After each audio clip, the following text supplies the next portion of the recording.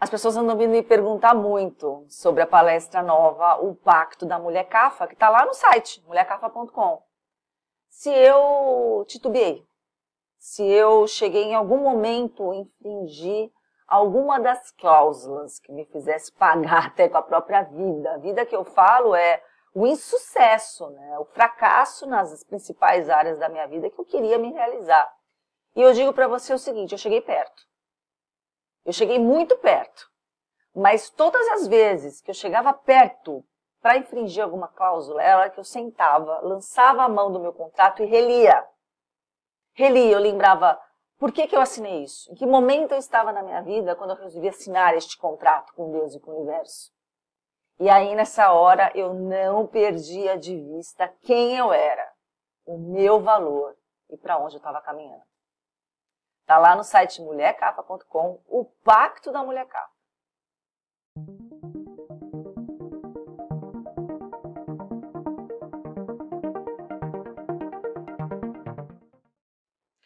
No Tira a Dúvida de hoje, a gente vai conversar sobre um assunto polêmico, porém sério, principalmente para nós mulheres, que somos as maiores interessadas nisso, que é o feminismo versus a irresponsabilidade feminina que deixou o cenário dos relacionamentos no estado que se encontra.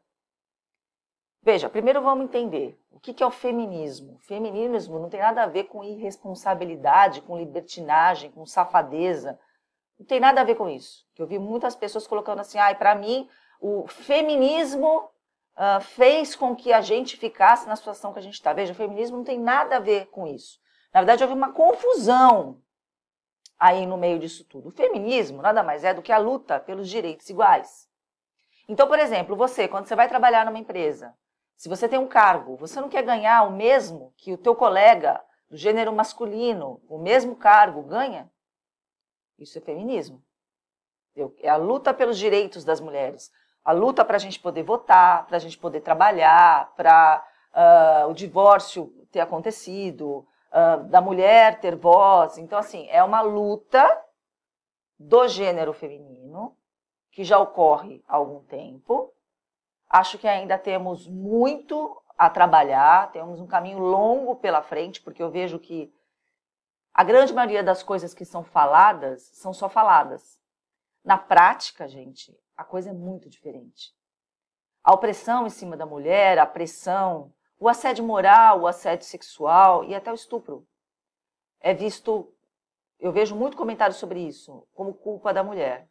Esses dias uh, saiu uma notícia aqui na minha região de que o jogador Robinho ele foi chamado pelo STF para responder sobre o crime de estupro que aconteceu na Itália. E eu estava lendo alguns comentários e ouvi um comentário de um, um rapaz é, capoeirista aqui da minha cidade e ele falava que uh, perguntando se a, a, moça que sofreu estupro, se ela era inocente. Aí uma pessoa, ela não tem ninguém inocente. E aí eu chamo dela de prostituta e, e a questão da inocência ou não inocência. E aí eu respondi para ele, porque eu falei, veja, uh, independente se você é capoeirista, padre, engenheiro, advogado, mulher, homem, Veja, então quer dizer que se a pessoa é X ou Y, então isso dá o direito do outro vir e estuprar?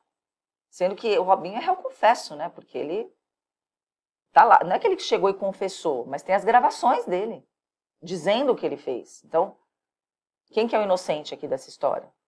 Ele falou, tem a voz dele falando. E eu espero, sinceramente, que ele que ele seja punido, que ele cumpra. Na verdade, eu gostaria que ele fosse deportado para a Itália que ele fosse transferido para lá e cumprisse pena lá. Mas, uh, independente da moça, né? Independente se ela é inocente ou não, se ela é Maria Chuteira ou não, se ela é prostituta ou não, é um ser humano, né, gente?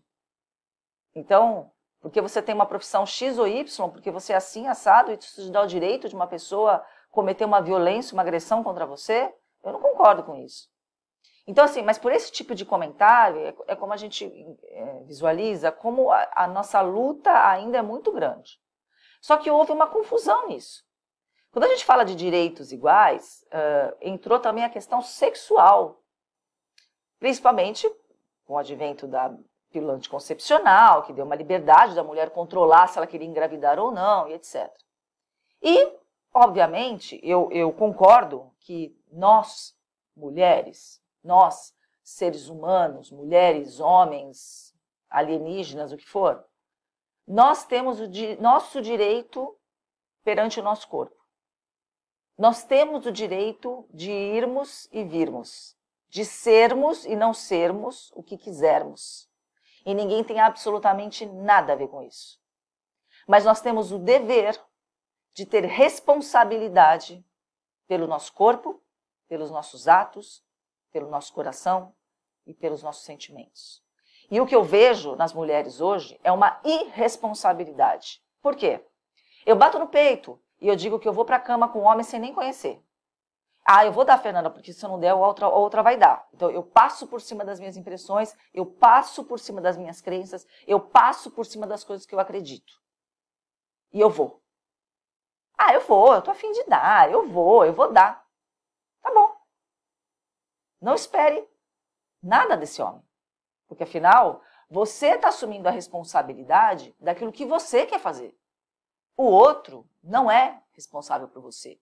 Assuma a responsabilidade de, de repente, você dar de cara, dar de cara com um maluco que vai te bater, que vai te agredir, que vai te violentar, e sabe lá mais Deus o quê? Mas você está assumindo a responsabilidade. Assuma a responsabilidade se no dia seguinte ele não te mandar uma mísera mensagem. Não adianta você vir para mim no dia seguinte, desesperada, chateada, chorando. Poxa, Fernanda, ele nem mandou uma mensagem. Mas você esperava que ele mandasse alguma coisa para você? Porque a partir do momento que você assume a responsabilidade de cometer um ato, seja ele qual for, você não tem que contar com absolutamente nada, nem com a consideração de ninguém. Ai, mas Fernanda, eu acho, sabe, eu me sinto desrespeitada. Vira as costas, vai embora. Então, houve uma confusão nisso. Por isso que eu falo que o homem, hoje, ele não está preparado para essa mulher. Uma mulher que muitas vezes sabe o que quer, mas muitas vezes faz coisas achando que isso é se valorizar como gênero, quando na verdade ela está se maltratando e está gerando uma tremenda confusão na vida dela. Então, gente, feminismo, feminismo não tem nada a ver com irresponsabilidade. E isso é uma coisa que você tem que ter com você. Não espere do governo, da polícia, do teu vizinho, da tua colega. Responsabilidade é tua, com você, com a tua vida. O corpo é teu, a periquita é tua, a boca é tua, o pensamento é seu, o coração é seu, a alma é sua. Você é responsável por ela, mais ninguém. Então não espere a responsabilidade, o respeito, a consideração dos outros. Se dê isso em primeiro lugar. Observe as coisas que você faz. Observe se realmente é isso que você quer fazer. Ou não, se isso vai te fazer mal. Novamente, você tem o direito de fazer aquilo que você quiser da sua vida. Ser, ir, vir, fazer, não importa. Ninguém tem nada a ver com isso, com a sua vida. Só você. Afinal, quem está pagando o preço de cada ato é você. Um beijo.